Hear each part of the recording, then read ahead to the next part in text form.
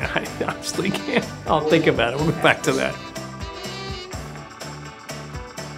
It really must come over the top. It would be sheer insanity to go the other way.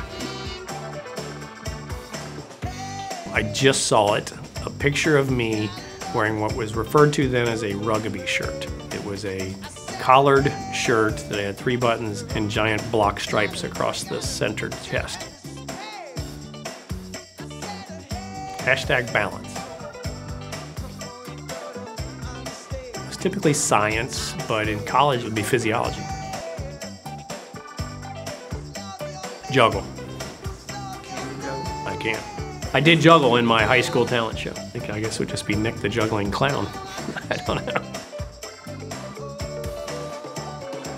Who was the guy that would chase the rabbit? Elmer Fudd. I do. Highlands High School. I've been the team physician for Highlands for the past 15 years or so. What happened to the frog when uh, its car broke down? It got towed.